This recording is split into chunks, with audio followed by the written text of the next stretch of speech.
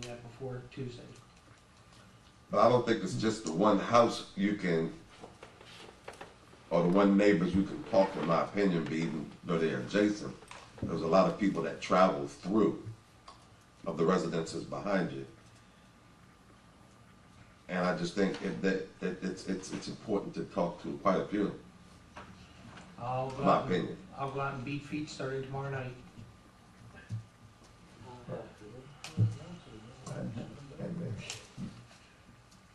and, and I, I wish that was last week, you beating feet, because we're trying to decide when it's May. I understand.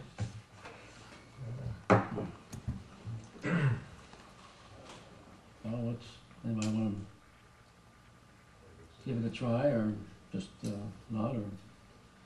I would make a motion, we approve it for the next two shows, uh, just give them two-week trial, see how things go and possibly monitor it, maybe some of us can ride by and see what's going on and, um, and reevaluate it afterwards. All right, I have a motion on the and I have a second for a trial. I'll second it for a trial. Okay. Any further discussion? All those in favor? Aye. Those opposed? Aye. Okay, three to two. Okay, thank you. Uh, any other, That's it. You just let us know, and we'll keep an eye on it. thank you.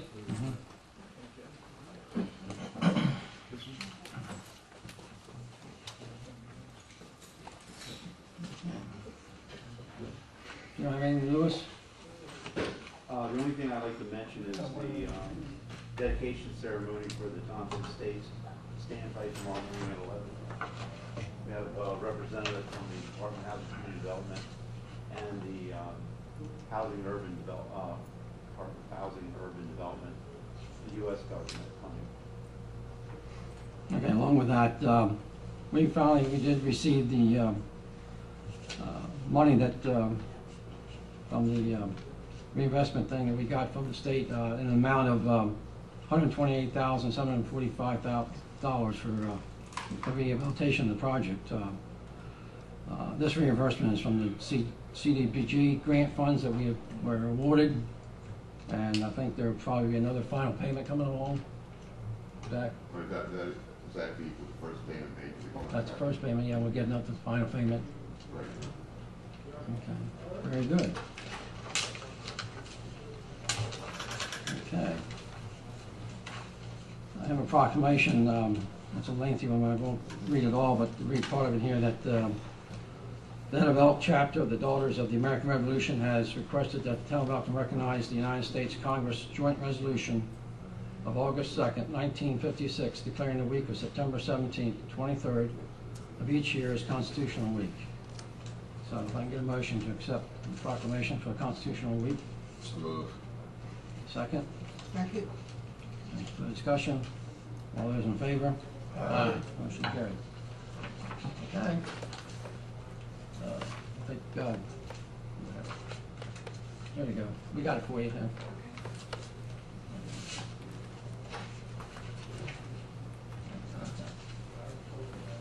Michelle. Okay. Oh, Michelle's got it back there for you, okay. She's coming back You're welcome. Thank you. Being with us. Oops. You okay? All right.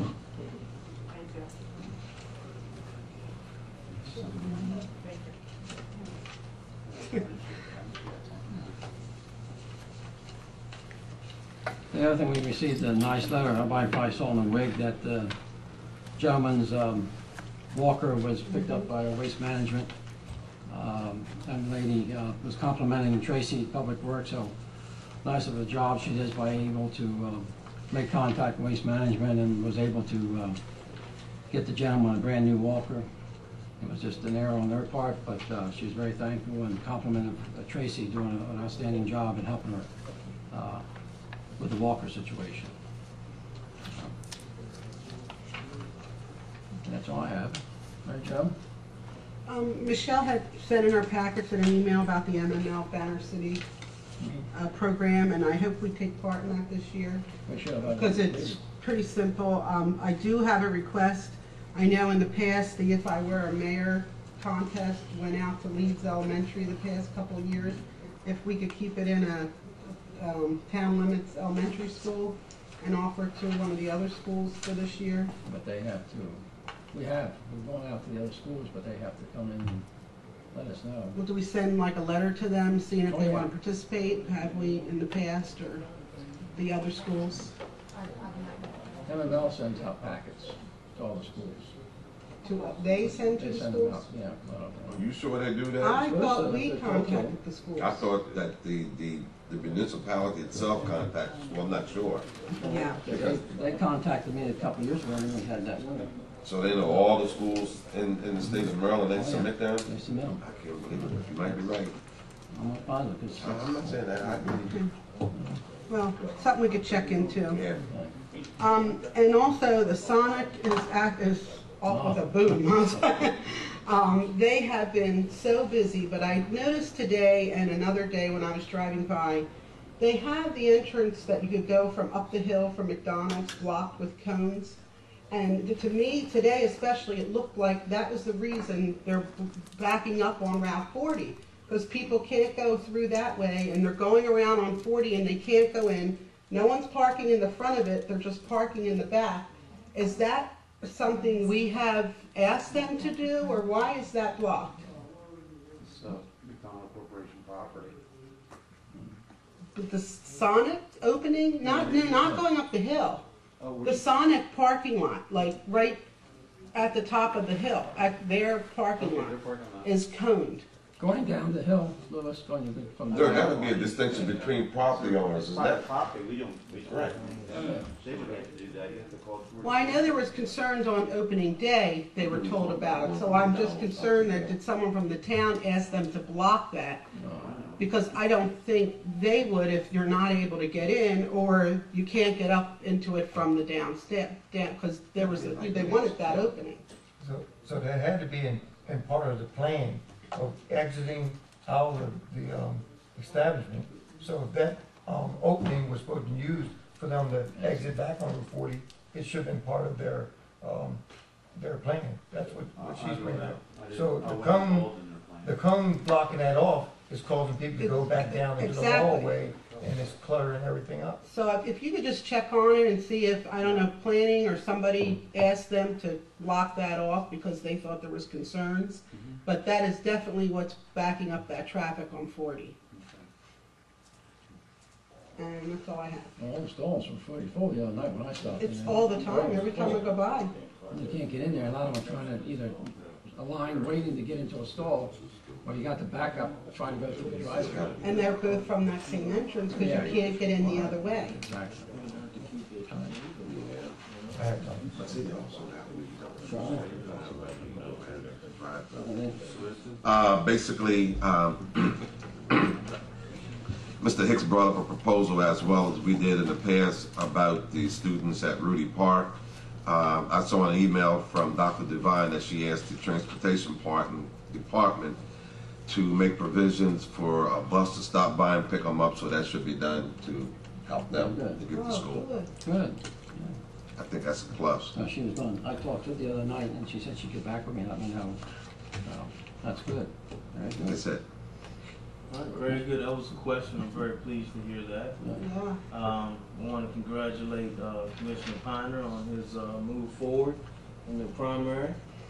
Um, congratulations on that. Um, I think that's pretty much. Oh, I I still like a uh, follow up with the Delancey Village uh, playground. It's up. It's It's up. up. Oh, She it didn't is the up? email, yeah. Didn't get the email. Okay, well, It's great. up. to it. Bye. All we have is. That's fine. I'm just glad it's up. Okay, thank you. That's it for me. Just got a I'm comment. out of. Just got a comment to uh, Mr. Gibbons with that, uh, the concerns with the bus picking them up. What does that do to the two-mile limit that the school board has for kids not riding school bus? Well, Just the- that. There, there, there is a limit, uh, as far as bus not picking you up, but I guess a special group, as I guess this group here is, uh, approach the Board of Education with the concerns and safety of the kids, and I guess they're gonna follow through. Certainly, I agree, there's a lot of kids who walk to school, and maybe somebody can go to bat for them. But you know, do it one at a time, because I know a lot of kids walk in the cold weather, and it's difficult. That was brought up at the planning commission Monday night What's also that? about the children at Rudy Park, that something needed to be done because they're walking down two highways with no, s- with no sidewalk at the present time, so. I mean, we also have kids that walk from Bridge Street and High Street and over on Boo Street, and they have a heck of a walk, and they don't have transportation. And I still feel sorry for them, so I don't know what provision the Board of Education can do, particularly during winter months, maybe being able to pick them up, but is this gonna be permanent then? Or is this- Right now, it's gonna be permanent for the kids at Rudy Park. Very good, because I know we're looking into a grant from the state highway that, uh, we're gonna be looking at. Yeah, see, for a school grant, Dean's gonna go to, uh, their uh, seminar on it. Um, the reason the the bus stop occurred at uh, Rudy Park was the mayor issued a letter after the state highway had met with the town housing authority at the site because of the number of kids it cost 13.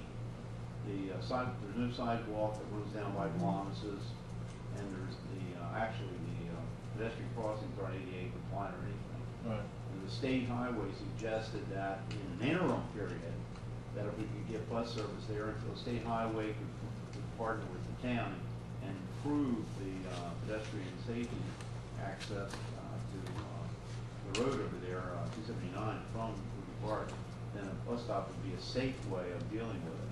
So I- we we sent a letter to uh, Dr. Devine and Ron, and, um, but I hadn't heard back, and I guess we're just hearing that now.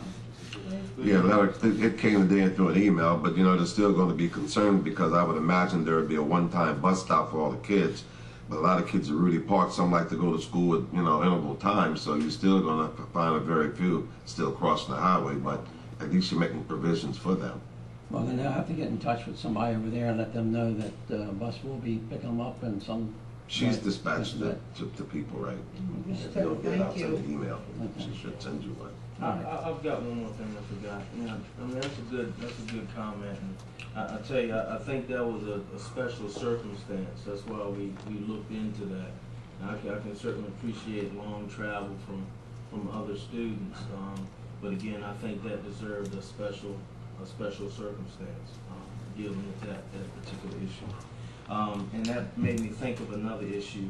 On Whitehall Road, I'm not even sure if this is our road, uh, where the old Walmart is. Um, County road, that's a county road? between Route forty and, uh, two thirteen is the county road. But Okay, all right.